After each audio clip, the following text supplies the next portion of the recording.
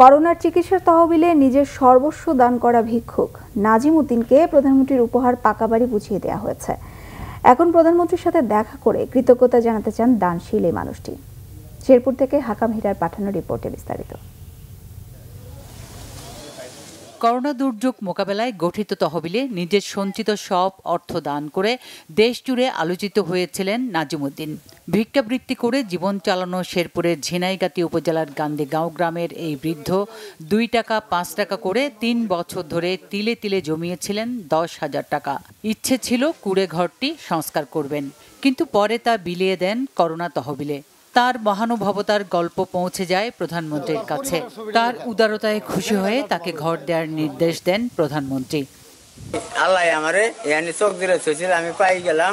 এখন প্রধানমন্ত্রী শেখ হাসিনা আমার বাড়ি ঘরটা সব দিল। আমি এখনকার সব কিছু পাইয়ে খুব খুশি। রবিবার সকালে শেরপুরের ঝিনাইগাতিতে নতুন বাড়ির চাবি হস্তান্তর করেন জেলা প্রশাসক আনারকুলি মাহবুব। বাড়ির সাথে একটি দোকানঘর, মালামাল সহ হস্তান্তর করা হয়। সবসময় খবর নিয়েছেন।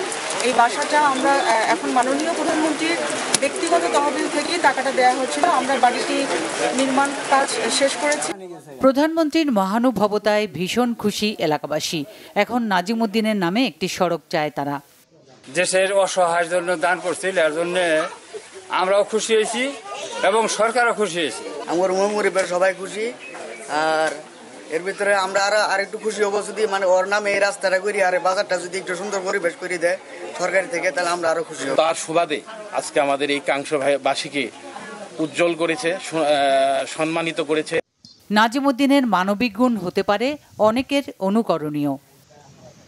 Bangla vision news desk.